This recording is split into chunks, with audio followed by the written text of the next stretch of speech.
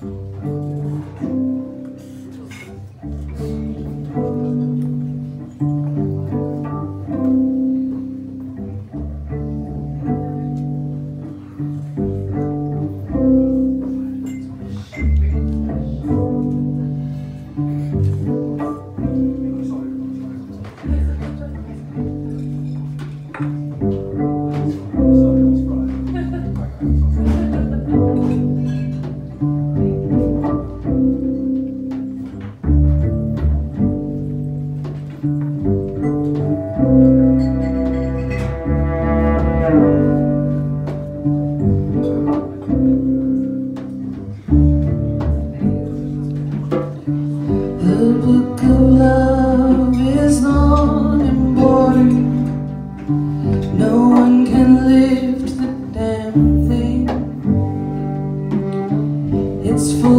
charts and facts and figures and instructions for dancing,